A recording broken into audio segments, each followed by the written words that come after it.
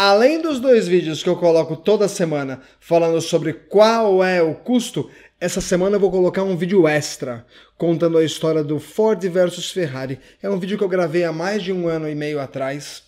E no meu outro canal, que eu tinha em parceria, que eu fazia em parceria com Andrei Rodrigues, o tio Andrei, infelizmente com a mudança de cidade, ele foi morar em outra cidade, pandemia, e eu comecei a fazer dois vídeos por semana nesse canal, então não demos continuidade a um projeto assim genial que é falar de caranga antiga. E esse vídeo que eu separei para vocês é Ford versus Ferrari. A gente sabe que já teve o vídeo, fizemos uma mega pesquisa a fundo, sem se basear em filme, mas olhando realmente a história, o que aconteceu e preparamos esse vídeo para vocês. Ó, tenho certeza que vocês vão curtir demais. É um vídeo curto, mas muito, muito emocionante. Divirtam-se.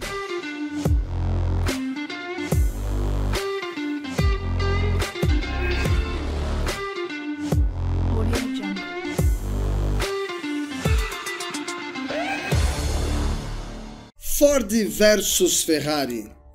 Essa história tem o seu ápice durante as 24 horas de Le Mans em 1966, quando o Ford GT40, que é lindo, interrompe a supremacia da Ferrari, que é considerada uma das favoritas da competição desde o início dos anos 60. Acreditamos que muitos de vocês assistiram o filme popularizou a história de uma das mais acirradas disputas do automobilismo mundial, Ford versus Ferrari. É realmente uma grande história, que começa muito antes do que conta o filme, mas também não terminou aonde o filme para. A trama toda se desenvolveu em torno de uma história real da equipe de engenheiros e designers americanos e britânicos, liderada pelo lendário construtor Carroll Shelby e o seu amigo e piloto britânico Ken Miles. Bom, o Ken Miles era um louco, apaixonado, experiente, não só como piloto, mas como mecânico e construtor.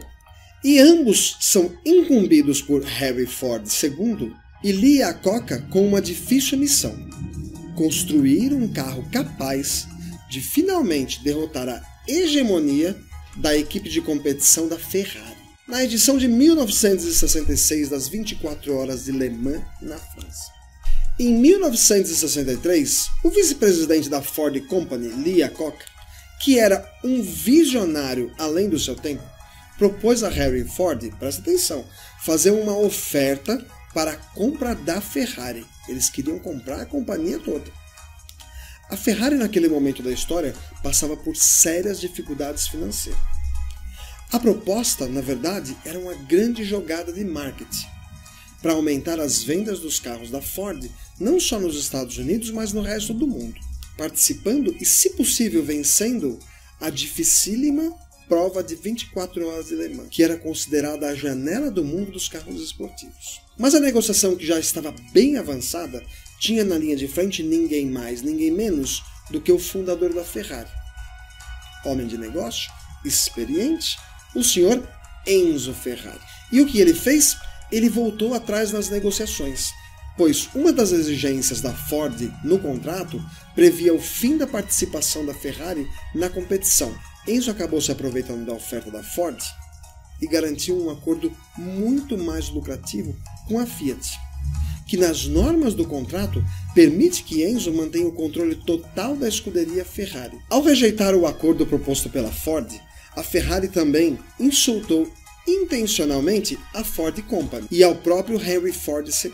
E aí, em resposta, surge um furioso Henry Ford, que determina sua divisão de corrida que se organize e se dedique na construção de um novo carro que fosse altamente competitivo, que pudesse derrotar a Ferrari em Le Mans. A ideia deles era realmente era aniquilar a Ferrari depois do acontecido. Para essa tarefa, o Iacocca contrata o proprietário e fundador da Shelby American. Carroll Shelby, o pai do Shelby Cobra, ex-piloto de corrida, que dentre outros grandes feitos já havia vencido nas 24 horas de Le Mans, em 1959. Shelby, por sua vez, pediu a ajuda ao temperamental, porém competente, Ken Miles. Depois de muito design, muita construção, muita engenharia, Shelby Miles testa o protótipo do Ford GT40 MK1 no Aeroporto Internacional de Los Angeles, revendo e trabalhando todas as falhas de projeto até que estivesse pronto para a exigente corrida. Na opinião de Henry Ford, que não acreditava que Miles era o piloto ideal, optou por contratar Phil Hill e Bruce McLaren para as 24 horas de Le Mans de 1965. E como previsto por Miles, afinal, ele conhecia muito do carro.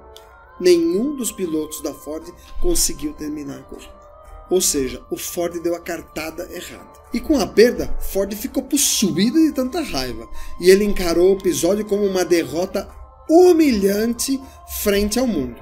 Mas o Shelby enxergava diferente e explica a ele que, apesar da derrota, o GT40 tinha impressionado e assustado o Enzo Ferrari quando chega a 349 km por hora em 1965, na reta Mussolani, antes de quebrar. O carro quebra, mas assusta.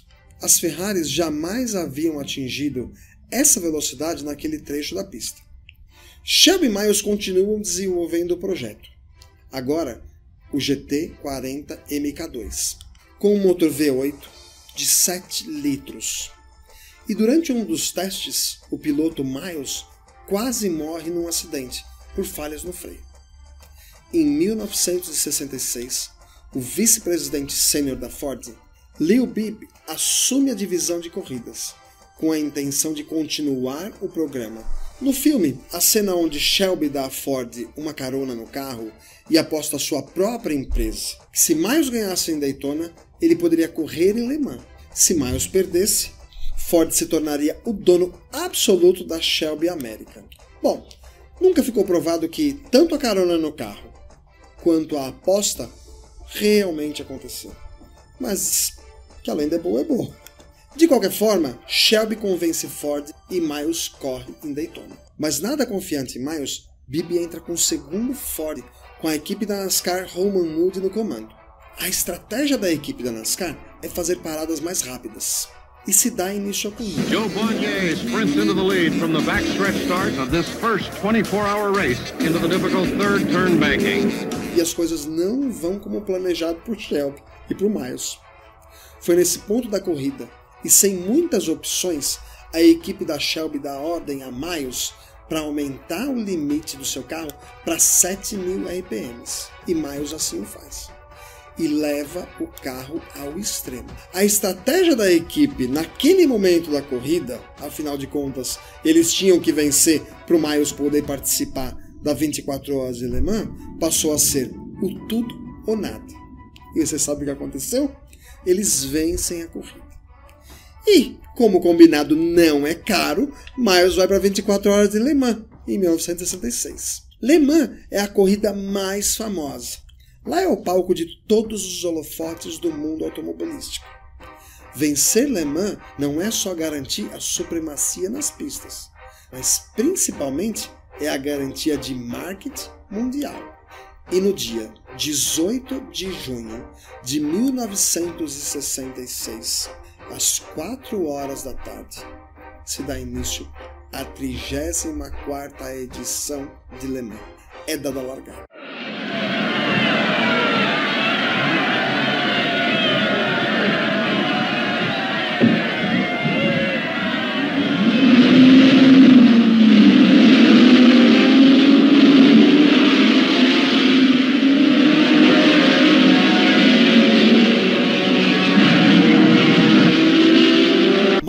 Começa muito mal, lutando com uma porta defeituosa ainda na primeira volta.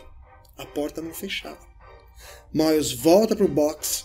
O engenheiro da equipe, Phil Hamilton, conserta a porta de uma forma assim, improvisadíssima. Ele pega um martelo e arruma aquela porta na raça. O Miles volta para a pista.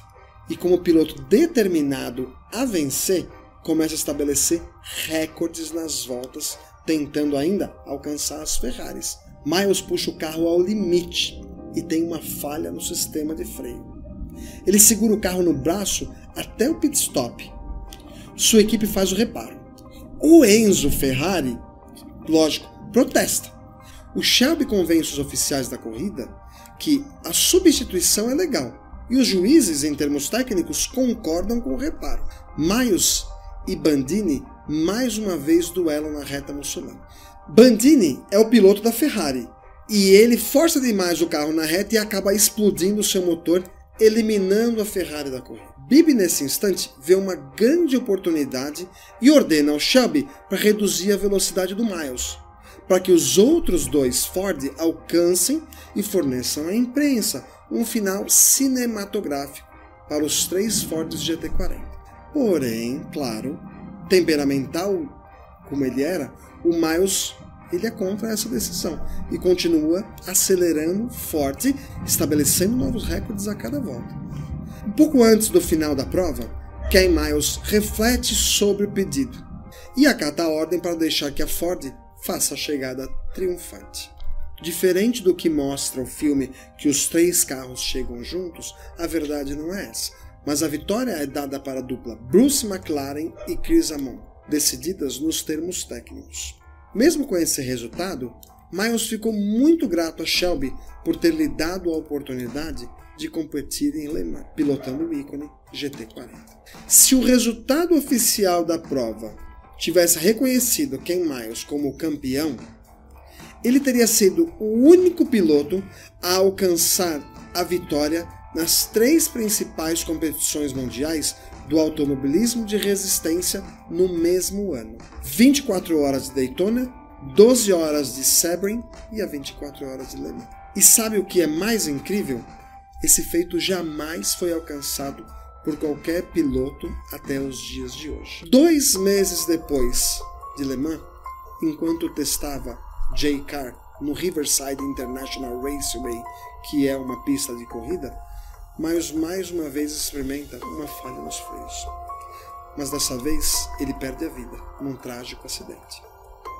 Seis meses depois do acidente, que tirou a vida do seu amigo, Shelby fez uma visita à viúva de Miles, Molly, e ao filho do casal, Peter.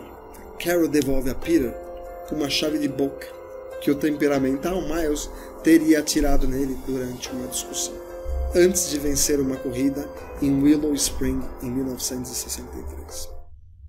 O filme termina com Shelby se despedindo do filho de Miles e acenando brevemente à esposa do amigo, antes de entrar no seu Cobra 427, enxugar as lágrimas, engolir as suas famosas pílulas para o coração e acelerar fundo pela rua. A Ford repetiu uma série de vitórias em Le Mans. 1967, 1968, 1969. Em 2001, Miles foi introduzido postumamente no Hall da Fama do Motorsport. O ícone GT40 deixou um legado de histórias para todos os fãs do automobilismo mundial. E Carroll Shelby, com o Ford GT40 mostra novamente ao mundo a sua superioridade absoluta como construtor de carros esportivos.